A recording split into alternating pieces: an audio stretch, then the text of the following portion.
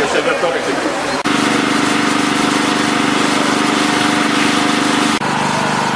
Uśmiech panowie, panowie uśmiech. Krzysiek. To jest.